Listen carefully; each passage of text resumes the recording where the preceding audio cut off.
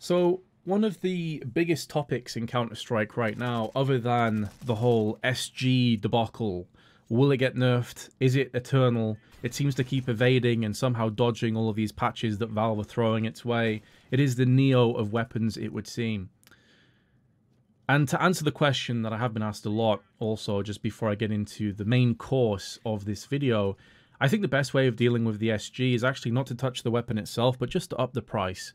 I'd be up for them maybe upping it by three to six hundred dollars, make it more of a risk, a more of a gamble to the terrorist economy. Don't allow these ridiculous buys to come in in the second round where you're effectively having two or three SGs purchased in the second round after the Ts have lost, but they've got a bomb plant. For me, that is just far too oppressive for the CTs. So I think that would definitely sort a lot of the problems out. I've heard people talking about the fire rate, make it semi-automatic. It would be the only semi-auto rifle that we'd have in the game, which could be quite interesting. There's a lot of ideas out there, but I think first and foremost, I would personally like to just see the price upped.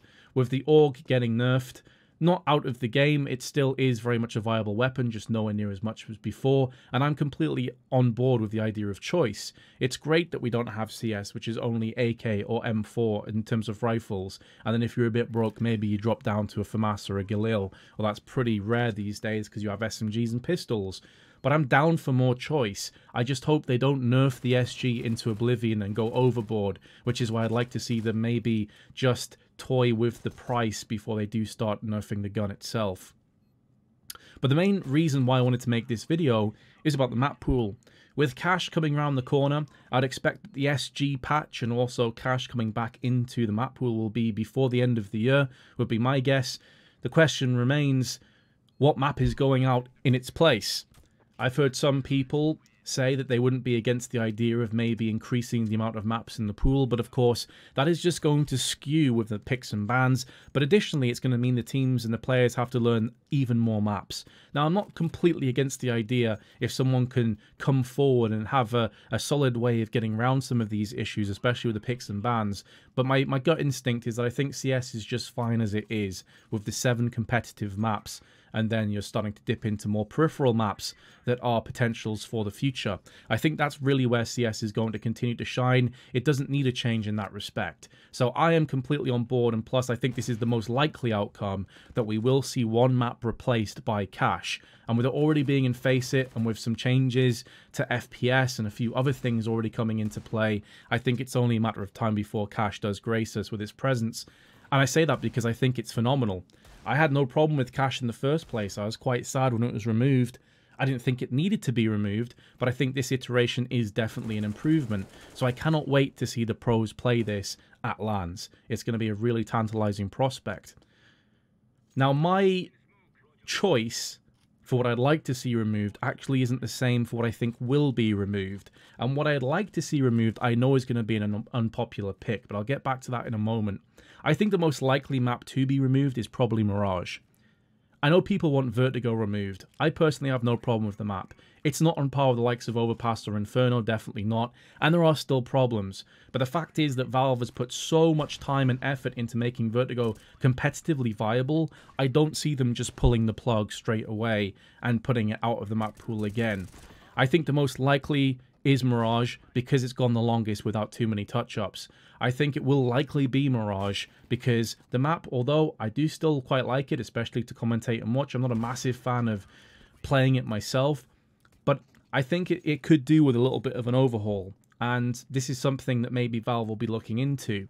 But priority-wise, I'd be fine with Mirage not being the next map to go out of the pool, but the one after.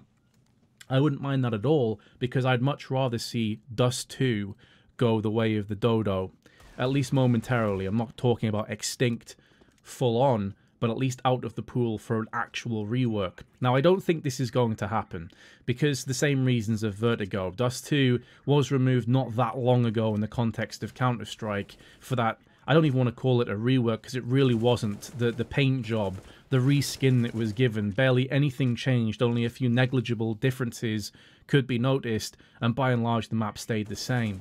Now my issue with Dust 2, even though I love Counter-Strike and I'm going to probably for the rest of my life if it continues to have different iterations.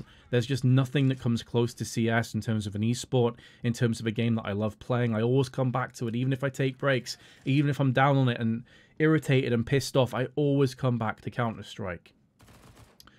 But Dust 2 is just an incredibly stale map for me to watch, play, commentate, or just do anything with. I find it so very tiring now, and I know I'm not alone on that. I know this is an unpopular opinion because people are still very much on the Dust 2 hype train, and I get that. It is a classic, it is a centerpiece of the CS franchise. I completely understand why some people do like Dust 2, but I just simply cannot stand it anymore. And I hope it does get removed and this time not just for a new look of paint, but for an actual rework. It doesn't have to drastically change. I just like some different, interesting, spicy additions to the, the map. You know, similar to how Cache came through. It doesn't have to be reinventing the wheel, just maybe putting a bit of a, a spit shine on it, you know, and just giving it something fresh and invigorating to enjoy and devour. But at that point either, I was never at the stage with Cache as I am with Dust 2 now. As I said, when it was removed, I still liked the map. I still wanted to see the map in competitive play. Whereas Dust 2 now, if it got removed, I would be so happy. I have no big problem with Mirage. I think it does need a little bit more spicing up, but overall I think the map's just fine. Dust 2 though is a real snooze fest, and I hope it does get removed for Cache, and I cannot wait to see what Cache has in offer for Counter-Strike. Cheers for listening, guys. Started a, a discussion below. Give me your thoughts, your feelings on which map you'd like to see removed, and where you come down on the whole Cache in minus question mark out. See you in the next video. Take care of yourselves.